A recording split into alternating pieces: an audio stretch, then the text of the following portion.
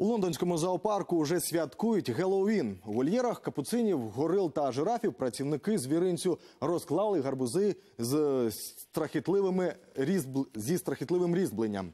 Тварини охоче ласували подарунками. Щоправда, до смаку гостинці припали не усім. Одна з горил жбурляла шматки гарбуза в усі біч.